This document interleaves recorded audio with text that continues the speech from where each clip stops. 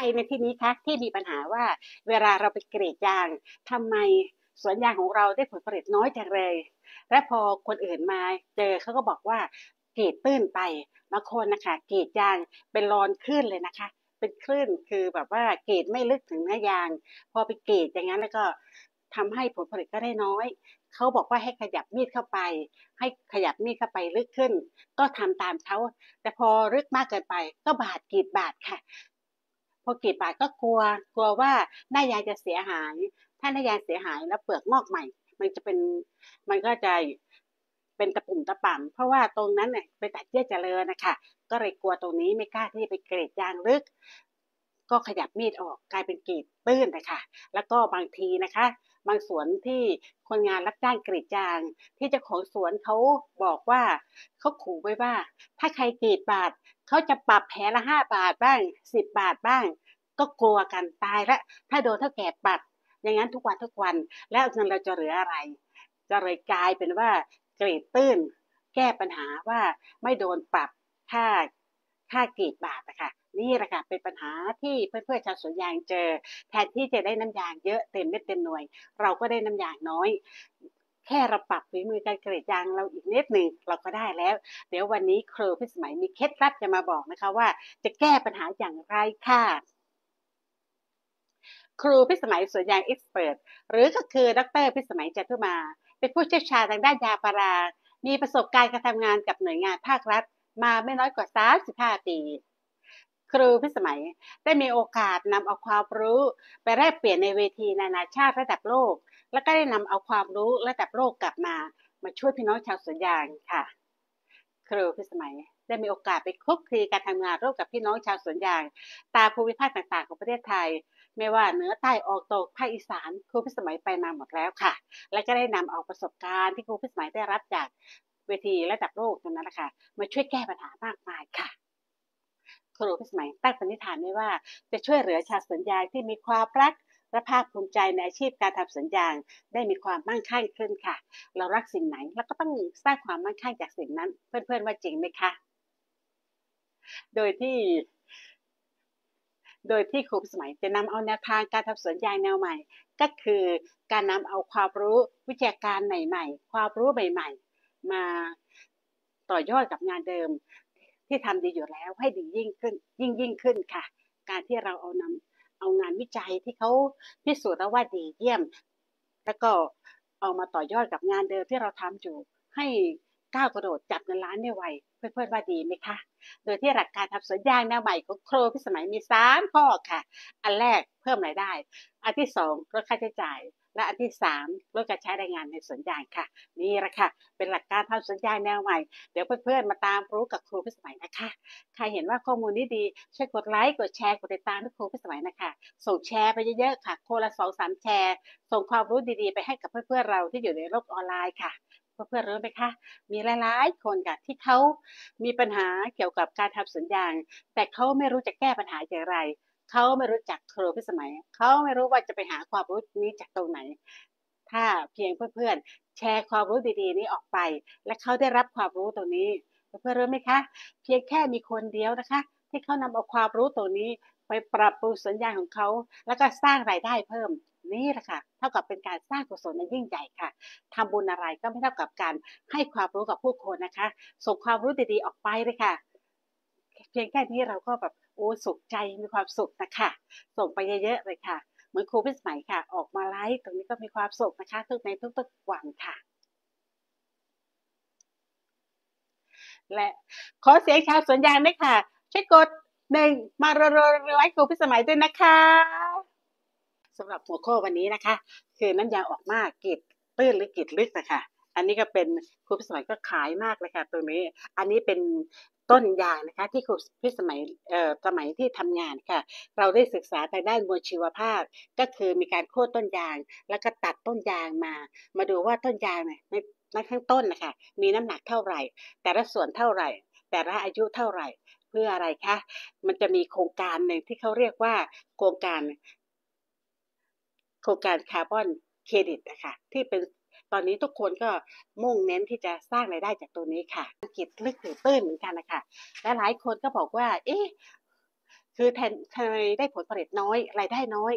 คือบางทีเขาได้แค่ครึ่งเดียวเขาได้ไม่เต็มที่ไม่เต็มเม็ดเต็มหน่วย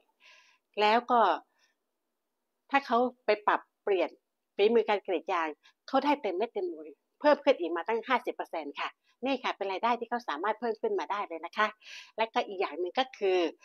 บางทีเข้าไปกรีดบาทได้น้ำยางเยอะ พอได้น้ำยางเยอะก็นึกว่าตัวเองได้ผลผลิตเยอะก็ไปกรีดบาทอย่างนั้น แต่ว่าวงจรชีวิตสั้นค่ะ รายได้ก็หายไปเป็นล้านเลยนะคะ เพื่อนๆรู้ไหมคะ อยากจะรู้ว่าหายไปเป็นล้านยังไงเดี๋ยวติดตามครูพิสัยมานะคะ ครูพิสัยจะมาเล่าความลับให้ฟังค่ะเป็นสิ่งหนึ่งที่เพื่อนๆ เรามองข้ามกันค่ะเรามาดูค่ะว่า เปลือกยางของเราประกอบด้วยอะไรบ้าง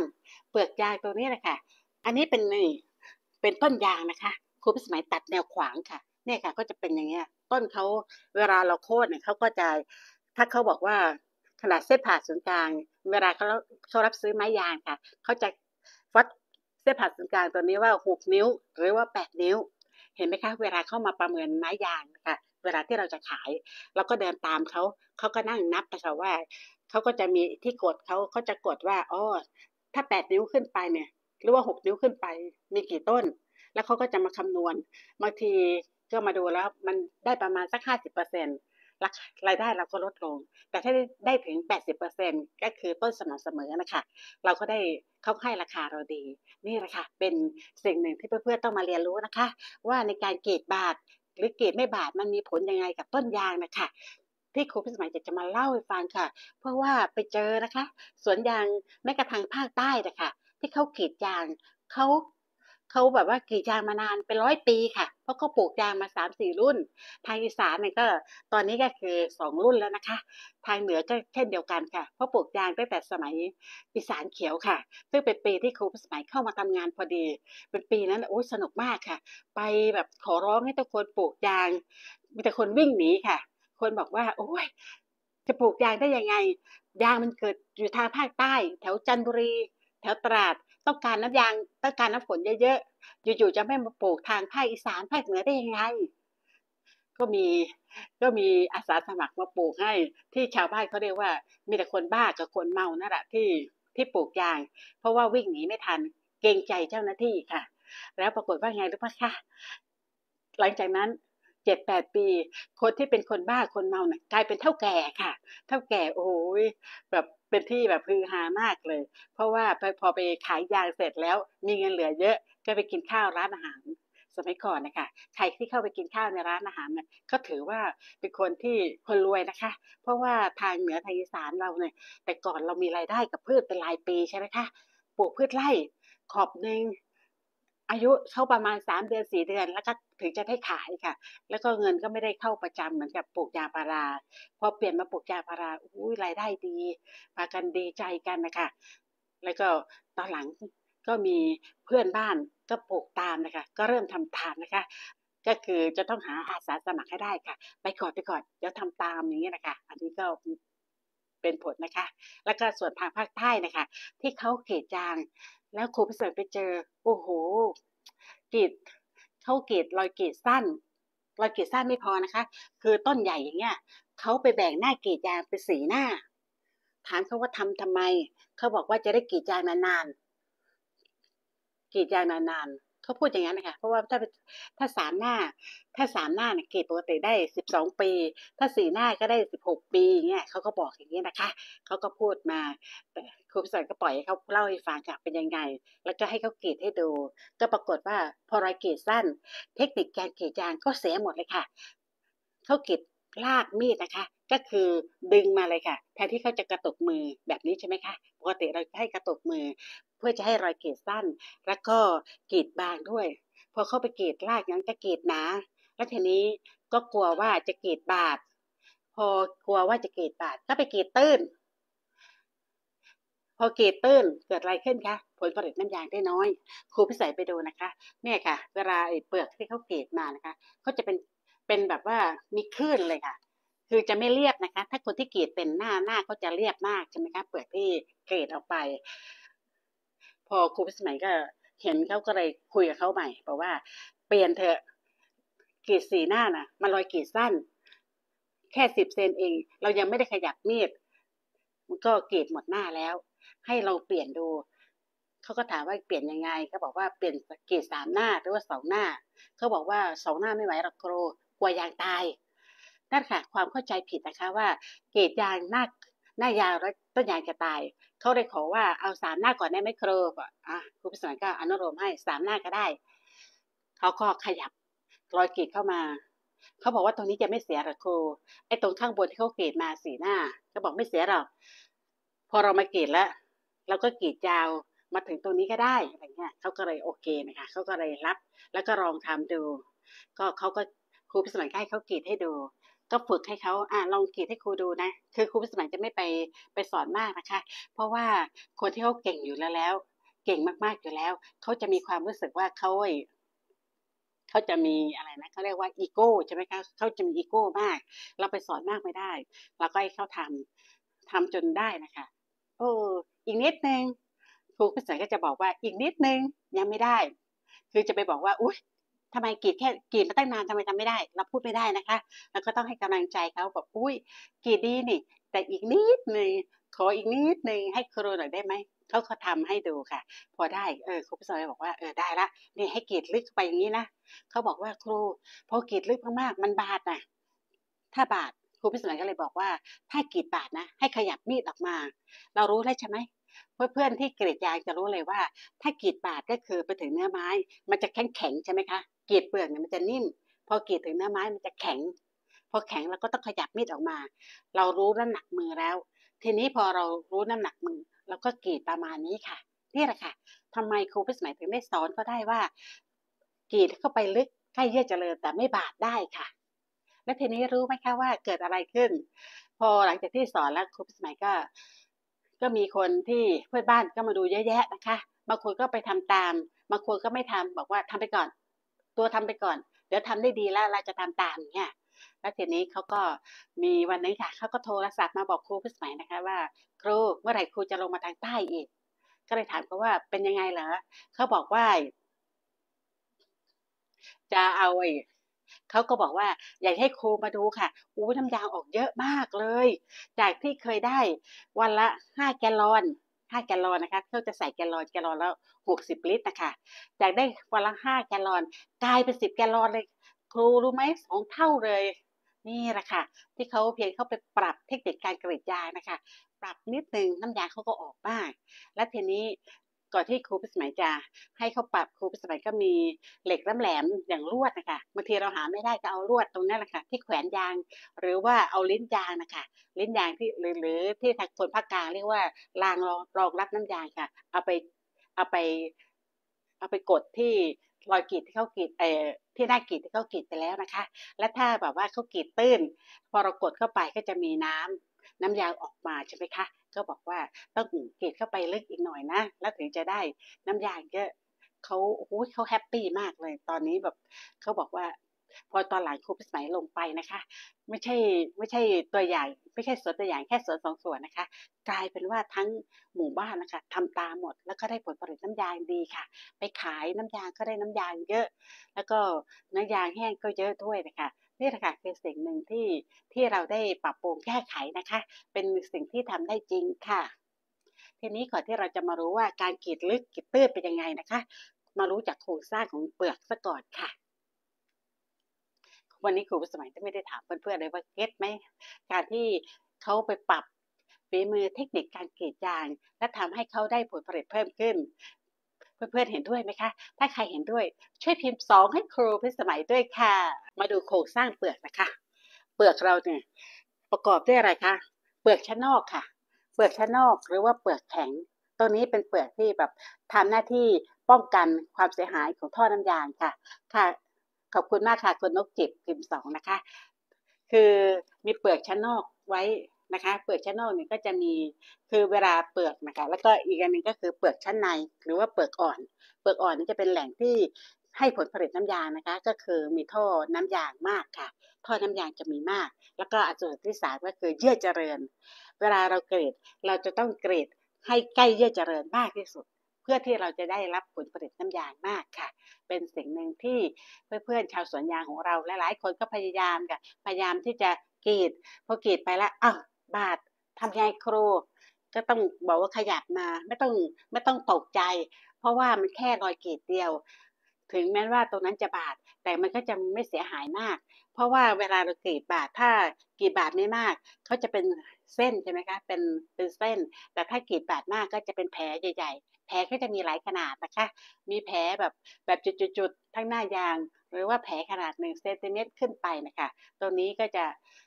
อันนี้ขึ้นอยู่กับฝีมือการกรีดยางของเราค่ะ ใครที่กรีดยางแล้วได้หน้ายางเรียบนะโอ้โหถือว่าสุดยอดเลยนะคะตรงนี้ก็อยากจะให้เพื่อนๆได้เรียนรู้เกี่ยวกับโครงสร้างของเปลือกค่ะ เพราะว่าโครงสร้างของเปลือกเนี่ยจะไปบอกว่าเราจะกรีดตื้นกรีดลึกขนาดไหนนะคะ เปลือกยางนะคะเขาจะมีความหนาประมาณประมาณ 8 มิลถึง 1 เซนติเมตรนะคะเพราะฉะนั้นถ้าเรายิ่งเราก็ต้องดูว่า ในส่วนตรงนี้จะขึ้นอยู่กับปัจจัยอะไรบ้าง เดี๋ยวเพื่อนๆตามมานะคะ สิ่งที่สำคัญเกี่ยวกับเปลือกยางจำนวนท่อน้ำยางก็คือ อันแรกคือพันยางค่ะ พันยางสำคัญ พันที่ให้ผลผลิตสูง ก็จะมีจำนวนท่อน้ำยางมาก เปลือกหนาด้วยเวลานักปรับปรุงพันยางนะคะเขาคัดเลือกพันยางนะคะ มีการวัดความหนาเปลือกทุก 3 ปีค่ะ ทุก 3 ปีเจาะแล้วก็เอามามาดูความหนาเปลือก มาวัดความหนาเปลือก วัดในกล้องจุลทรรศน์นะคะ วัดความหนาเปลือกแล้วก็วัดนับจำนวนท่อน้ำยางด้วยค่ะ ก็คือทำสองอย่างพร้อมกัน แต่ถ้าเรานะคะ เราก็สามารถใช้ใช้เหล็กแหลมแทงเข้าไปได้ค่ะแล้วเราก็ดูความหนา อันนี้ก็สามารถที่จะบอกได้นะคะ อย่างพันยางทั่วไปค่ะ จะมีจำนวนวงท่อน้ำยางประมาณ 15ถึง25 วงค่ะ แล้วก็พันหกร้อยค่ะ มี วงท่อน้ำยางมากนะคะตั้ง30 วงค่ะ คิดดูสิคะว่าพันยางที่ผลผลิตสูงกว่า 1,600 อย่างเช่น 251 3904 408 BPM 24 PB 235จะมีจำนวนวงท่อน้ำยางมากขนาดไหน อันนั้นเกือบมากกว่า 35 วงเลยนะคะ อาจจะใกล้ๆ 40 นะคะ ก็เลยเป็นพันธุ์ที่ให้ผลผลิตสูงนะคะ ถ้าเราได้รู้จักพันยางแล้ว เราจะไปกรีดยางได้นะคะ ด้านที่สองก็คืออายุยางค่ะ อายุยิ่งมากความหนาเปิดก็ยิ่งมาก แล้วก็มีวงท่อน้ำยางมากด้วยค่ะ ส่วนอันที่ 3 ก็คือ การจัดการสวนยางการใส่ปุ๋ยบำรุงค่ะกำจัดวัชพืช แล้วก็ใส่ปุ๋ย อันนี้ก็จะช่วยได้ค่ะ ใส่ปุ๋ยนะคะจะทำให้เปลือกยางนิ่ม การกรีดยางก็ง่าย พอกรีดยางง่าย เราก็ได้ผลผลิตน้ำยางมากค่ะเพื่อนๆเก็ตไหมคะใช้เก็ตช่วยพิมพ์สาไมโครพิสมัยด้วยค่ะ เราจะใส่ปุ๋ย ยางตัวไหนดีคะน้ำยางถึงจะออกดีคือเปลือกไอ้ต้นยางที่กรีดยางแล้วนะคะ เราจะใส่ปุ๋ย เราจะเน้นปุ๋ยเคมีค่ะ เพราะว่าในการกรีดยางปีนึงนะคะ จะมีการเอาน้ำยางออกไป แล้วก็จะสูญเสียธาตุอาหารออกไปจากต้นยางค่ะทำให้เราต้องใส่ปุ๋ยเคมีเข้ามาร่วมด้วย ก็คือปุ๋ยสูตร 30-58 ค่ะ 30 58 ตัวหน้าไนโตรเจน 30%ตัวกลางฟอสฟอรัสต้องการน้อย 5%แล้วก็โพแทสเซียมตัวหลัง 18%ค่ะต้องการมาก อันนี้คือปุ๋ยเคมีนะคะ ใส่ปุ๋ยคอกหรือปุ๋ยอินทรีย์อย่างเดียวได้ไหมไม่ได้ค่ะ เพราะว่าถึงแม้ว่าเขาจะมีธาตุอาหารครบ 14 ธาตุ แต่เขามีปริมาณน้อย ไม่เพียงพอต่อการสร้างผลผลิตน้ำยาง เพราะฉะนั้นต้องใส่ปุ๋ยเคมีเข้าไปด้วย การที่ใส่ปุ๋ยเคมี กับปุ๋ยคอกด้วยกัน มีข้อดีก็คือ จะลดการใช้ปุ๋ยเคมีลงได้ครึ่งหนึ่งค่ะ หรือถ้าใครไม่สะดวกใส่ปุ๋ยคอก ก็ใส่แต่ปุ๋ยเคมีอย่างเดียวก็ได้ค่ะ ในการใส่เราใส่กระสอบละหนึ่งกระสอบต่อหนึ่งไร่ได้เลยนะคะ หรือถ้าเราบอกว่ามันเยอะไปเราก็กลายเราก็มาลดลงสองกระสอบใส่สามไร่ก็ได้ค่ะ ไปหาสูตรปุ๋ยที่มาใส่นะคะ หรือว่าใส่ปุ๋ยสดข้างเคียงก็ได้ค่ะ ใกล้เคียงกัน ถ้ายังไม่แน่ใจก็สามารถที่จะพิมพ์ข้อความถามครูพิสมัยมาได้นะคะ เดี๋ยวจะบอกว่าถ้าไปเจอปุ๋ยสูตรนี้ หาซื้อปุ๋ยสดที่ครูพิสมัยบอกไม่เออหาไม่ได้ ก็สามารถที่จะไปซื้อปุ๋ยอะไรบ้างมา มาใส่ด้วยกันเพื่อจะให้ธาตุอาหารครบแต่ค่ะ ค่ะ ยินดีค่ะ สามารถถามครูพิสมัยได้เลยนะคะ จะใส่ปุ๋ยยังไงดี เพราะว่าในช่วงต้นฤดู ใส่ปุ๋ยคอกไปแล้ว และปุ๋ยเคปุ๋ยเคมีไม่ได้ใส่ จะใส่ตอนไหนดี ใส่ช่วงปลายฤดูฝนได้ไหมก็ได้ค่ะ เราสามารถจะมาเพิ่มในช่วงปลายฤดูฝนก็ได้ค่ะ ถ้าเรา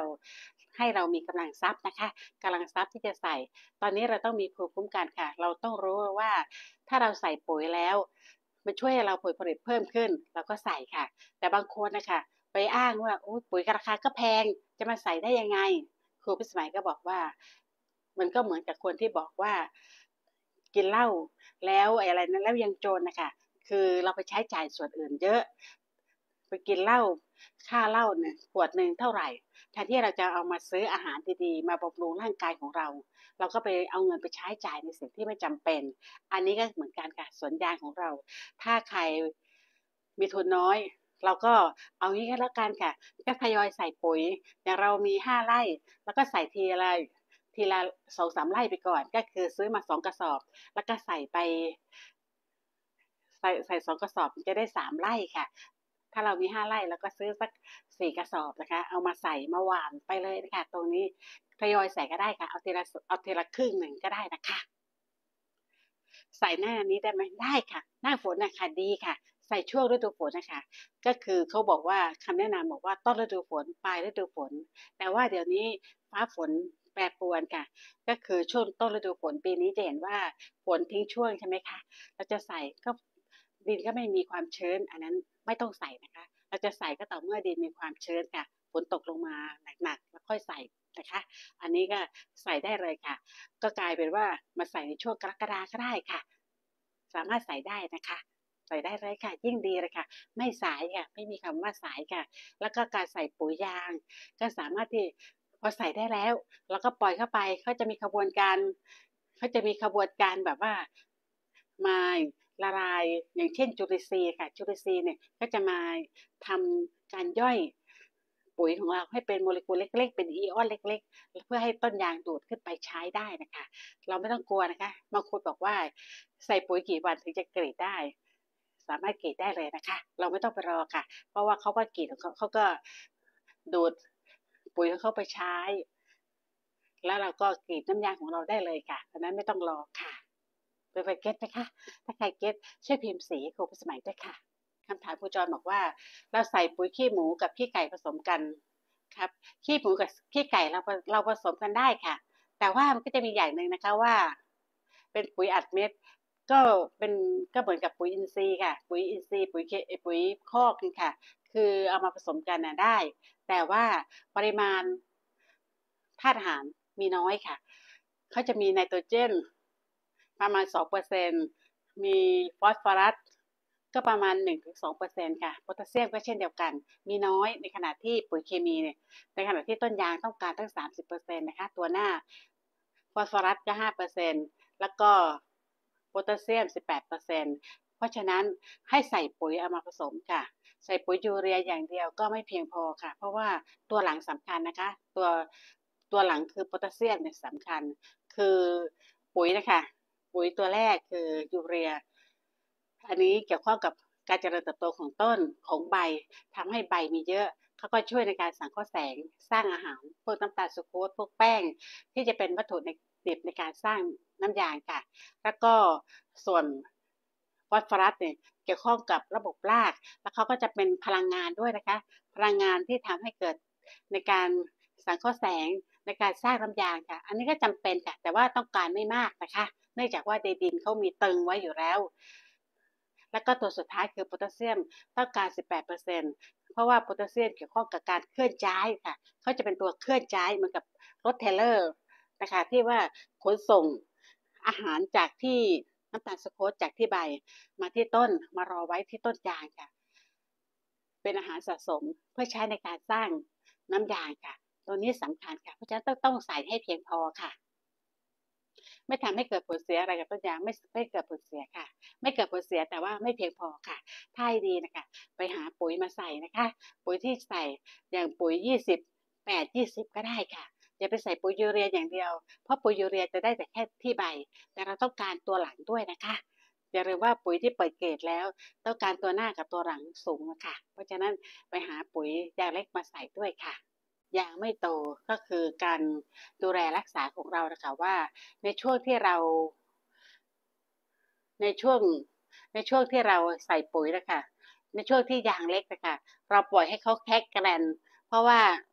ไม่ว่าจะเป็นวัชพืช หรือว่าการใส่ปุ๋ยเนี่ยใส่ปุ๋ยไม่เพียงพอด้วย แล้วก็ทำให้ล้วปล่อยให้วัชพืชมาแข่งแย่งต้นยาง ก็ทำให้ต้นยางเราแกนและอย่างก็คือพื้นที่ปลูกยางของเราไม่เหมาะสมกับการเจริญเติบโตของต้นยาง ก็เลยทำให้ไม่โต อันนี้ก็มีผลค่ะ แต่ว่าพอเรามาถึงตอนนี้แล้ว แล้วก็อีกอย่างนึงก็คือเราไปเปิดเกตยางต้นเล็ก เราเอาแต่อายุเราไม่ได้ดูว่าจำนวนปีเท่าไหร่นะคะแต่ว่ามันก็สามารถจะปรับปรุงได้ ก็คือเราจะต้องมาสร้างเปลือกให้ให้เข้าหนาได้ เราก็ใส่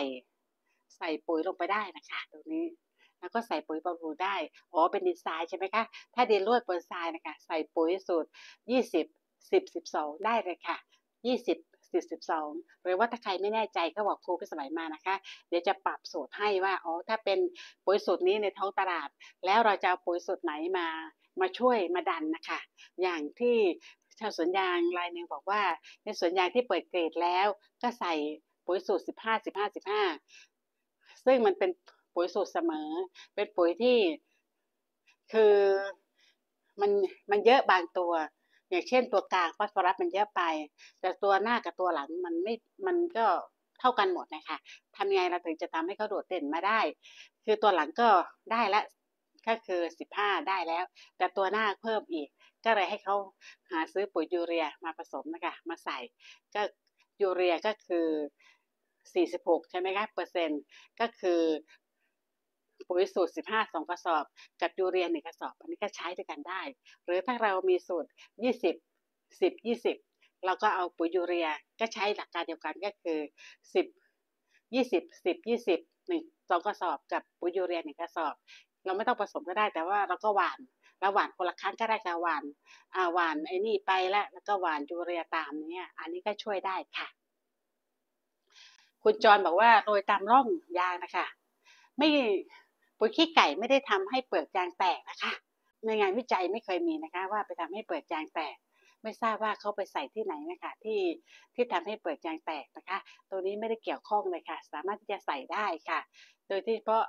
ปุ๋ยที่เข้าไปอัดเม็ดแล้วเข้าไปทำให้แห้งใช่ไหมคะ ปุ๋ยที่เรามาใส่ในสวนยางปุ๋ยคอกนะคะ ที่เราให้ระวังก็คือว่า จะต้องทำปุ๋ยให้แห้ง หรือว่าไปทำเป็น ไปทำเป็นปุ๋ยคอก ปุ๋ยหมักซะก่อน แล้วค่อยเอามาใส่ เพื่อจะให้ฤทธิ์ที่จะทำความเสียหายกับต้นยางเนี่ยเขาลดน้อยลงค่ะ เพราะว่ามันจะมีบางอย่าง อย่างเช่น ถ้าเป็นปุ๋ยพวกนี้ที่เลี้ยงในระบบปิดเขาก็จะมี โซดาไฟใช่ไหมคะ เพื่อกำจัดฆ่าเชื้อโรคอะไรต่างๆเนี่ยเราเพื่อเพื่อให้เขาลดสิ่งที่เป็นอันตรายลงค่ะ ค่ะ ไม่เกี่ยวค่ะ ไม่เกี่ยวข้องค่ะ สามารถที่จะนั่นได้ แต่ว่าปุ๋ยคอกอย่างเดียวไม่พอนะคะ เราใส่ให้ปุ๋ยคอกลงไป มันเป็นข้อดีก็คือทำให้ดินร่วนซุยไปปรับปรุงโครงสร้างของดิน แล้วถ้าเราใส่ปุ๋ยปุ๋ยเคมีลงไปอีกโอ้ยยิ่งจะเพิ่มประสิทธิภาพของปุ๋ยเคมีให้ทวีคูณเลยค่ะ ลองดูนะคะ ไปใส่ปุ๋ยเคมีครับซื้อมาใส่ค่ะครูพิสมัยไปเห็นปุ๋ยที่เขาแนะนำสูตรข้าวนะคะเขาก็ใช้ 25 74 อันนี้ก็สามารถเอามาใช้ได้กับยางพารานะคะ คิดว่าถ้าข้าวถ้าเขาแนะนำให้ใช้กับในนาข้าวได้ แสดงว่าเป็นปุ๋ยที่มีขายมีจำหน่ายทั่วไปทั่วประเทศค่ะ สามารถที่จะเอามานะ มาใช้ได้ค่ะยิมาดูท่อน้ำยางค่ะ จะหนาแน่นในบริเวณที่เปลือกชั้นในนะคะ เพราะฉะนั้นเวลาเรากรีดยางเปลือกอ่อนนะคะ ที่เข้าหนาแปดมิลนะคะ เรากรีดให้ให้ลึกที่สุดนะคะใกล้เยื่อเจริญ เยื่อเจริญจะคือ คือตรงนี้ค่ะ ตรงที่เชื่อมระหว่างเนื้อไม้กับเปลือกนะคะเขามีหน้าที่ในการที่สร้างเปลือกงอกใหม่ทุกปีนะคะ ถึงได้บอกว่าห้ามกีดบาดเนื้อไม้ค่ะ ถ้าเกรดไปแล้ว แล้วไปโดนแบบอุ้ยเผลอเกรดไปลึกไป มันเข้าไปถึง มันแข็งแข็งค่ะไปชนกับเนื้อไม้ละเราก็คล้ายๆว่าเอาความผิดนะ สิ่งที่เราทำผิดพลาดนะมาเป็นครู แล้วก็พอต้นต่อไปแล้วก็ขยับมีดออกมาค่ะ ตรงนี้ค่ะ ไม่ต้องขยับมากนะคะขยับประมาณนิดนึงเราก็จะไม่บาดแล้วค่ะ ตัวนี้ค่ะก็จะช่วยให้เราสามารถเพิ่มผลผลิตได้นะคะ เพราะว่าหลักการทำหลักการกรีดก็คือกรีดให้ลึกที่สุด แต่ไม่ต้องทำลายแต่ไม่ทำลายเยื่อเจริญนะคะ ตัวนี้สำคัญ และทีนี้โดยทั่วไปนะคะเพื่อเพื่อเราเกรดยางเกรดยาง กรีดตื้นค่ะ ก็คือเหลือเปลือก คือจะวัดจากตรงเยื่อเจริญนะคะ มีการที่เก็บเอาตัวอย่าง ตัวอย่างไปวัดความตัวอย่างเปลือกนะคะ เราไปส่องกล้องจุลทรรศน์นะคะแล้วก็ไปนับจำนวนวงท่อน้ำยางเลยนะคะว่า ถ้าเรากรีดตื้นห่างจากวงท่อน้ำยาง 1.3มิลลิเมตรค่ะ 1.3มิลลิเมตรนะคะ ก็คือประมาณขีดครึ่งของไอ้ตารางเซนติเมตรนะคะ อันนั้นค่ะจะตัดท่อน้ำยางได้แค่ห้าสิบห้าสิบเปอร์เซ็นเอง หมายความว่าไงคะหมายความว่าถ้าเกตเตอร์เนี่ยเราสูญเสียผลผลิตไปตั้งห้าสิบเปอร์เซ็นค่ะนั่นแหละค่ะตัวนี้เราสามารถขยับไปได้ ถ้าเราไม่แน่ใจว่า เอ๊ะไอ้รอยเกตที่เราเกตไปแล้ว มันเพียงพอหรือเปล่า เราลองเอาไอ้เอานี่ค่ะลวดลแหลมไปค่ะ เราไปทำเป็นลแหลมหน่อย หรือว่าอะไรเป็นเป็นเข็มก็ได้ค่ะ เข็มที่เขาใช้ ใหญ่ๆหน่อยนะคะ แล้วเราไปไปเจาะนะคะ ไปเจาะดูไม่ต้องกลัวค่ะ มันจะเป็นมันจะไปทำลายหน้ายาง เพราะมันเป็นแค่รูเล็กๆค่ะ เจาะลงไป ถ้ามันเจาะได้แล้วมีน้ำยางออกมา เราไปปรับรอยกรีดให้มันลึกลงไปอีกค่ะ เพราะว่าผลผลิตที่เราไม่กรีดตั้งตั้งเท่าไหร่คะตั้งห้าสิบกว่าเปอร์เซ็นต์ค่ะ น่าเสียดายนะคะ เอาผลผลิตให้เยอะขึ้นค่ะทำน้อยแต่ได้มากค่ะ คือเราอย่าไปบอกว่าวันหลังมากรีดยางก็ได้ เราปรับเลยค่ะ เราดูค่ะ เราเราเราดูฝีมือของเรานะคะ ใครวันนี้ค่ะ ใครที่จะไปกรีดยางในสวนยางค่ะ เราลองเอาเหล็กแหลมหรือว่าเอาพวกลิ้นยางก็ได้ค่ะตรงขอบมันนะคะเจาะเข้าไปค่ะ ถ้ามีน้ำยางออกมาเนี่ยเราสามารถจะกรีดลงได้ลึกเข้าไปอีกนะคะ ตรงนี้เราก็ดูค่ะ ถ้ามันบาดแล้วก็ขยับ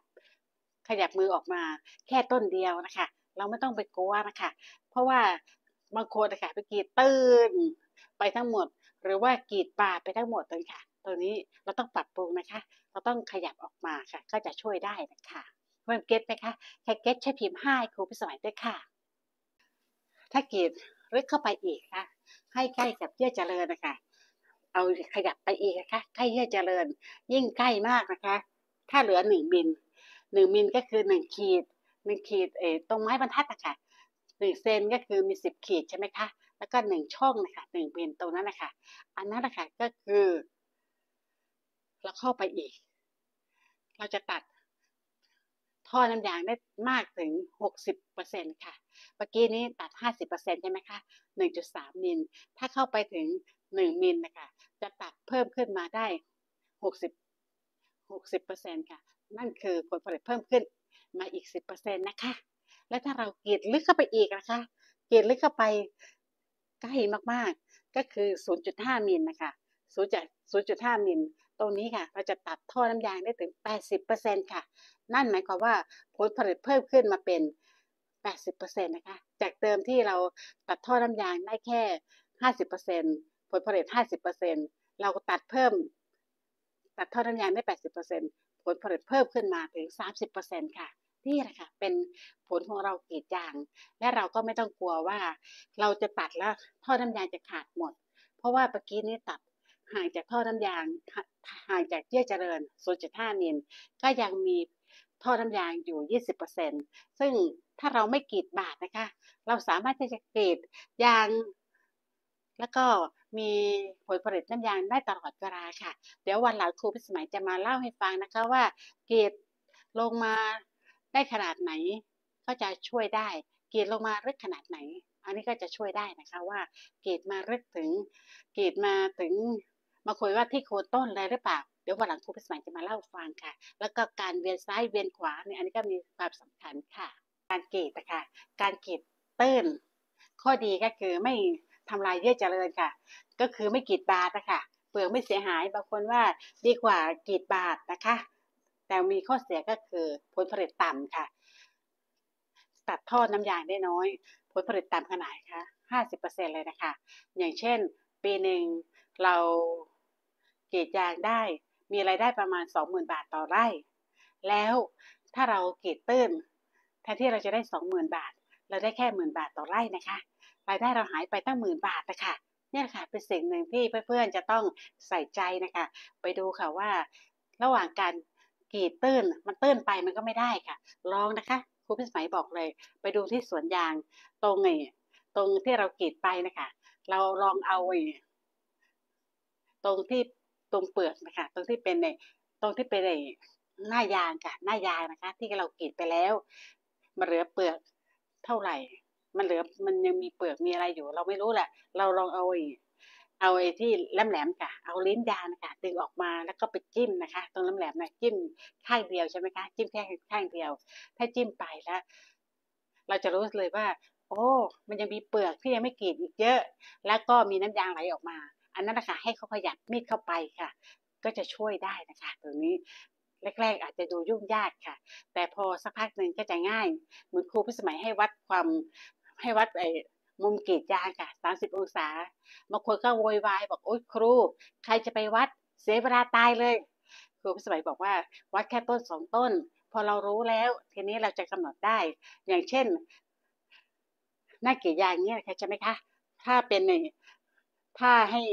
คือสามสิบองศาก็คือนี่ค่ะ ประมาณหนึ่งนิ้วชี้นะคะหนึ่งนิ้วชี้ให้ต่ำจากไอ้รอยข้างบนนะคะ ข้างบนเนี่ยเท่าไหร่นิ้วชี้ก็จะได้ประมาณนี้เลยค่ะ ประมาณ 30 องศา มันก็จะง่ายค่ะ ตอนแรกเราอาจจะดูว่าอู้ยุ่งยากจะต้องไปวัดไปพับกระดาษแล้วไปวัดมุม แต่จริงๆแล้วไม่ยากเลยนะคะ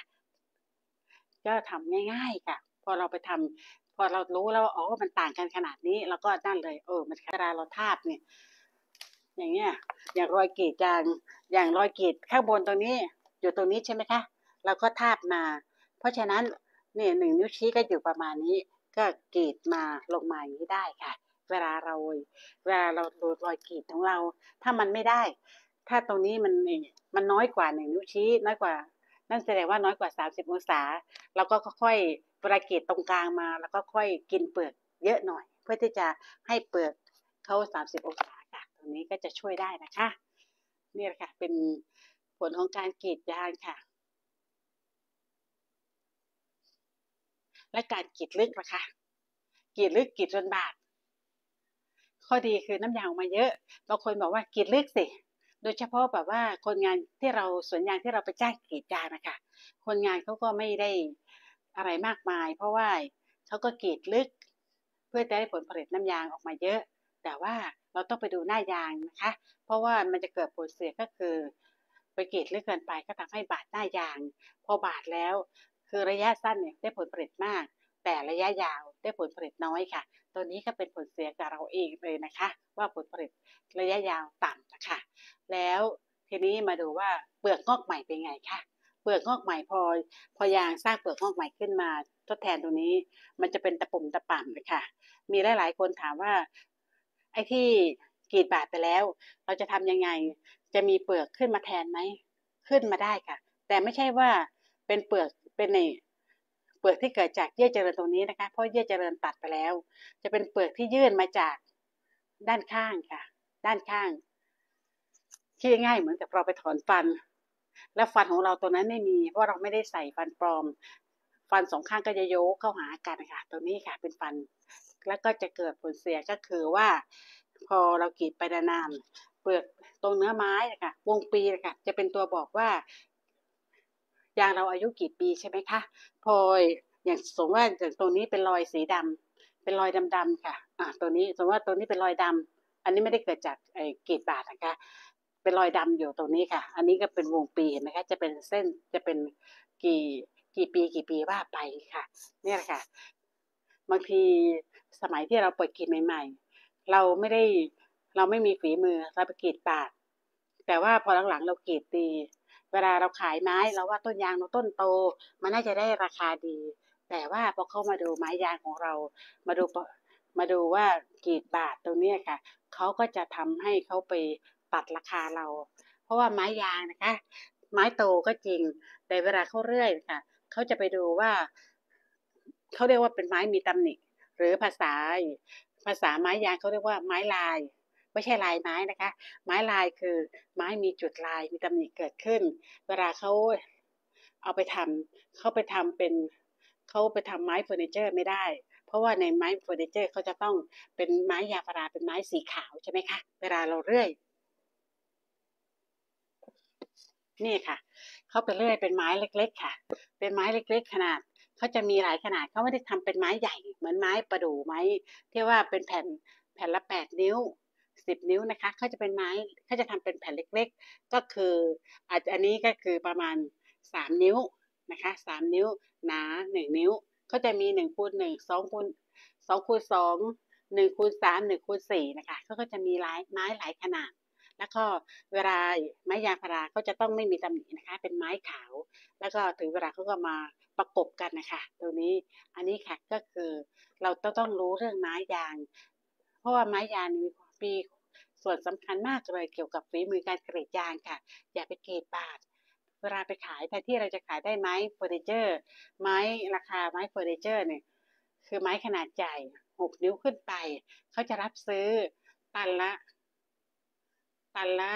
สามพันบาท แต่ว่าถ้าเป็นไม้ลายหรือไม้มีตำหนิเขาจะตีเป็นเศษไม้ เศษไม้คือตันละแปดร้อยบาท เห็นไหมคะราคาราคาต่างกันเกือบสี่เท่าค่ะ ก็เลยให้เห็นความสำคัญของไม้ยางนะคะ เพราะฉะนั้นตั้งใจกรีดยางให้ดีค่ะ ถ้าเราเราว่าฝีมือเรากรีดไม่ดี เราดูค่ะในสวนของเราจะมีต้นหนึ่งค่ะ ที่มันเป็นต้นยางเล็ก เรายอมเสียต้นนั้น หรือต้นยางที่ตายนึ่งตายนึ่งแบบถาวรคือกูไม่กลับแล้ว เราก็ไปลองเกรดยางไปฝึกเกรดยางเรื่อยๆค่ะ ว่าเออ เราควรจะลงน้ำหนักมือขนาดไหน อันนี้ก็จะช่วยได้นะคะ เพราะว่าครูสมัยก็ได้ใช้วิธีการอย่างนี้แหละค่ะ เวลาที่ไปตรวจสวนยางครูแต่ก่อนครูสมัยทำเรื่องสวนยาง GAP ก็คือมาตรฐานสวนยางจะต้องดูฝีมือการกรีดยางด้วยทำอย่างไรให้ผลผลิตเพิ่ม คุณภาพดีค่ะ อันนี้ก็ทำทุกทำเพื่อว่าจะได้มีน้ำยางที่จะส่งขายต่างประเทศ แต่ก่อนค่ะเรามุ่งเน้นแต่ว่าให้ผลผลิตน้ำยางสูง แต่ว่าต่อไปนี้เราจะมุ่งเน้นว่านอกจากผลผลิตน้ำยางจะสูงแล้ว จะต้องได้คุณภาพดีค่ะ ก็เลยเป็นที่มาว่าจะต้องทำ GAP ในสวนยางค่ะแล้วทีนี้พอทำอย่างไรเราจะทำให้เขาเกรีดยางได้ยาวนานขึ้น วงจรชีวิตที่ทุกคนบอกว่ายางอายุ 25 ปีก็โค่นแล้วก็ปลูกไป ต่อไปค่ะเราจะพยายามขยายออกให้ได้ถึง 40 ปีนะคะ 40 ปีเราค่อยโค่นแล้วก็ปลูกยางใหม่ค่ะ ก็จะทำให้เราลดต้นทุนในการปลูกสร้างสวนยางได้นะคะ และสิ่งหนึ่งก็คือทางด้านไม้ยางสำคัญ เพราะว่าเป็นเขาเรียกว่าเป็น by-product เป็นรายได้รายได้สุดท้ายหลังจากกรีดยาง คือเวลาโค่นเราก็จะเป็นเขาเรียกว่าเป็นโบนัสนะนะเป็นโบนัสให้กับเรานะคะเราอยากได้โบนัสเยอะๆเราก็ต้องรักษาเขาค่ะกรีดยางให้ดีนะคะตรงนี้ก็จะทำให้เราได้โบนัสเยอะๆนะคะนี่แหละค่ะเป็นความรู้ที่ครูพิสมัยนำมาให้นะคะเพื่อนๆว่าไงคะและทีนี้ที่สำคัญอีกนะคะที่ครูพิสมัยจะให้ดูนะคะว่ารายได้นะคะเกิดจากการกีดลึกการกรีดลึกเนี่ยอายุการกรีดยางก็จะสั้นลงเพราะอะไรคะ วงจรชีวิตสั้น เนื่องจากว่า เนื่องจากว่าเปลือกงอกใหม่ไม่มีแล้ว แทนที่เราจะได้กรีดเปลือกงอกใหม่นะคะ ปกตินะคะ ถ้าเราแบ่งกรีดยางสามหน้ากรีดยางสามหน้า เรากรีดสองจุดหนึ่งเราจะได้หน้าละสี่ปีใช่ไหมคะสามหน้าก็ได้สิบสองปี พอเรามากรีดเปลือกงอกใหม่อีกสิบสองปีก็เป็นยี่สิบสี่ปี แล้วเราก็ไปกรีดเปลือกเปลือกหน้า ยางหน้าสูงอีก อันนี้กีดได้ถึงสิบปีนะคะวันหลังครูพิสมัยจะมาเล่าให้ฟังค่ะ สามารถที่จะยืดขยายเวลาได้อย่างไรได้บ้างค่ะ และการกีดยางหน้าสูงเนี่ยโอ้ผลผลิตน้ำยางเยอะมากนะคะเป็น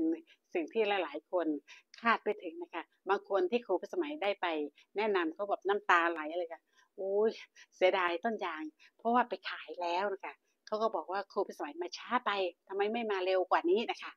และทีนี้ กลับมาดูที่ว่าการกรีดบาดหน้ายางค่ะ เพียงแค่เรา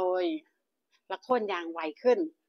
แค่ปีหนึ่งนะคะ ผลผลิตเราสูญเสียไปตั้ง 2,000 บาทต่อไร่ต่อปีค่ะ 2,000 บาทเลยนะคะ แล้วถ้าเราถ้าเราถ้าเรากรีดยางไม่ดีแล้วก็เราโค่นลง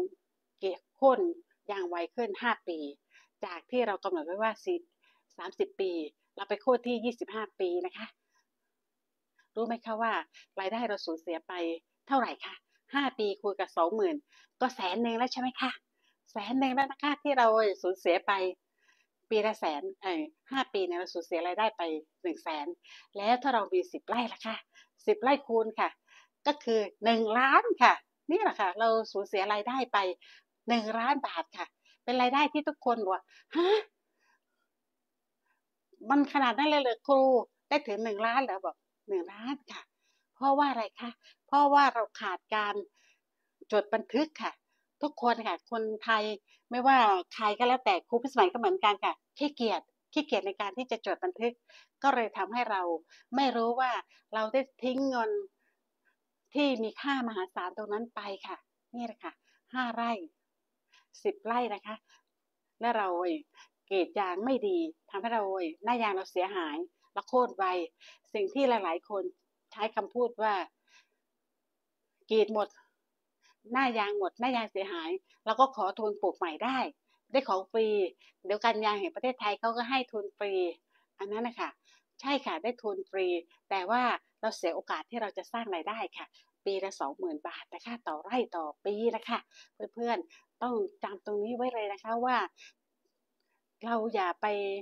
คิดว่า มันเป็นเรื่องเล็กๆน้อยๆค่ะ แค่การกีดตื้นกีดลึกอย่างนี้มันมีผลนะคะกีดตื้นรายได้ก็ลดลงกีดตื้นรายได้ลดลงไปห้าสิบเปอร์เซ็นค่ะ แทนที่จะได้สองหมื่นบาทต่อไร่ต่อปี เหลือแค่หนึ่งหมื่นบาทค่ะ เพื่อนเก็ตไปค่ะ ใครเก็ตช่วยพิมพ์หกให้ครูพิสมัยด้วยค่ะ